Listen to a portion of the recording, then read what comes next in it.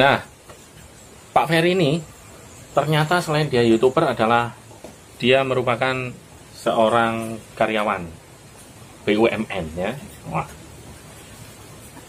Karyawan BUMN. Kita tahu kalau karyawan itu kan pekerjaannya dari pagi sampai malam, sampai sore. Padahal eh, waktunya untuk di tempat kerja itu seperti itu. Tapi kok sempet-sempetnya bikin YouTube gitu ya. Tolong dijawab Pak Ferry ini. Kok bisa? Padahal saya aja yang punya waktu luang banyak itu bikin video se- seminggu sekali ya. Jadi sebenarnya itu berawal dari pandemi corona. Dari pandemi corona itu awalnya Mas Triston. Oke. Ketika sudah sering daring, akhirnya saya pasang wifi. Setelah sekitar satu minggu saya mikir, kalau wifi ada, saya setiap bulan mengeluarkan uang 300 hanya dipakai untuk belajar yang mungkin satu atau dua jam. Akhirnya saya pikir untuk apa lagi jualan online juga saya nggak punya sistem yang kuat seperti Shopee atau yang lain-lain lah tanda kutip yang bisnis online. Jadi kemampuan saya mungkin yang bisa dikejar adalah YouTube. Dengan aturan baru cukup berat juga bagi pemula karena harus mengejar 1000 subscriber dan 4000 jam tayang. Tapi alhamdulillah setelah jalan dua bulan setengah subscriber saya sudah 1180 lah.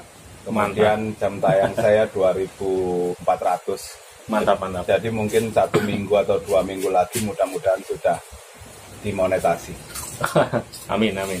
Dan karena YouTube ini juga kita jadi berkumpul lagi Pak Ferry. Iya, iya, saya masih ingat dulu Mas Sultan itu Ini senior saya ini teman-teman. PKL di tempat saya. Jadi waktu kuliah dulu itu Mas Sultan itu PKL di tempat saya. Jadi nilainya saya kasih triple A kalau nggak salah Mas Sultan ya.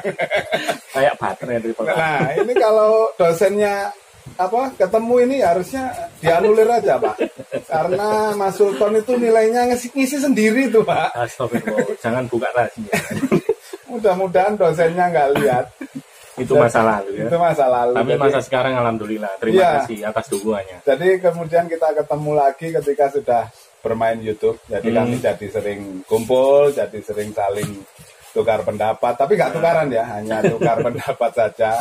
Sering saling berbagi pengalaman dan memang Mas Sultan harus saya jadikan senior untuk di YouTube. Kalau kemarin saya di bidang eh, teknik dan pendidikan saya jadi seniornya, sekarang saya yang harus belajar sama suhunya.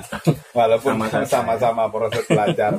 saya paling tidak sudah terbukti warna hijau dolarnya Mas Kriston Studio sudah menyala duluan. Jadi saya harus kejar.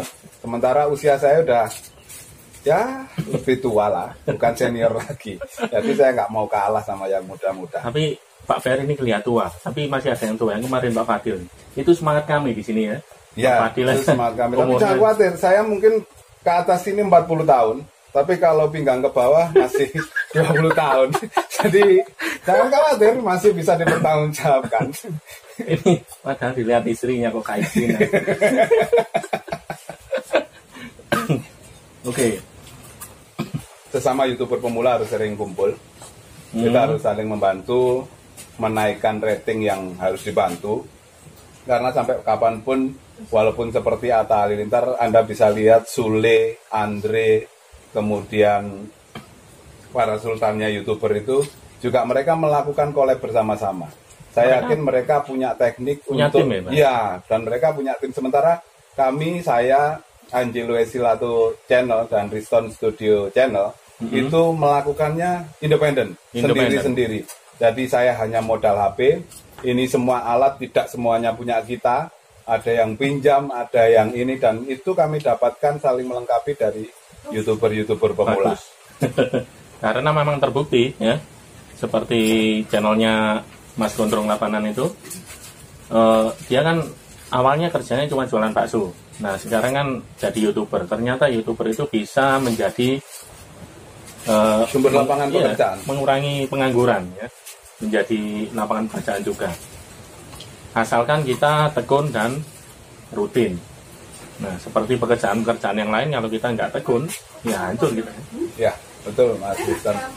Jadi mungkin saya sarankan memang kita sering selalu bertemu. Ini tadi juga satu channel sebenarnya ingin ngumpul. tapi karena memang ada jadwal yang lain jadi tidak bisa ngumpul mungkin kalau lihat nanti Pak Ramil Halo, mudah-mudahan nanti juga ini Mas Bro Production yang Halo juga Mas Bro. ya yang sudah nyala juga kemudian Pak Fadil Fargo Halo Pak Fadil. tetap semangat Anda senior kami dan contoh kami Kita harus menginspirasi pemuda Indonesia, Pak. Meskipun katanya muda, ternyata saya sudah tua deh.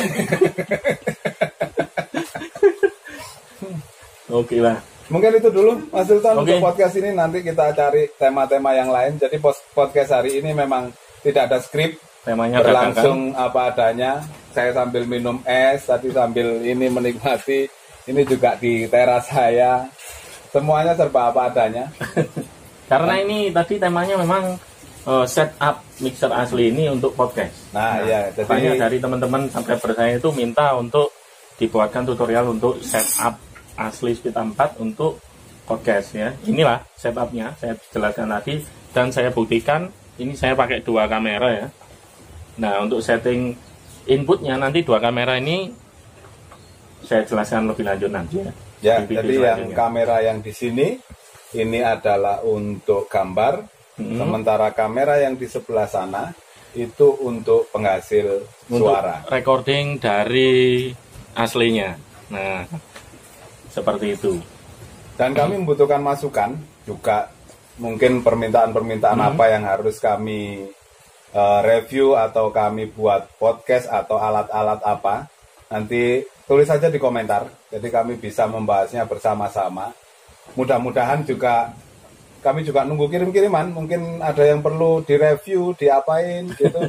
Seperti jam tangan saya ini juga kiriman ini. Ini hasil kiriman. Hasil Jadi, kiriman dari subscriber saya. Belum saya review memang. Alhamdulillah. Jadi mungkin mudah-mudahan lah nanti semakin banyak alat-alat yang bisa membantu youtuber-youtuber pemula untuk Siap, siap. meningkatkan channelnya. Monggo, Mas Sultan.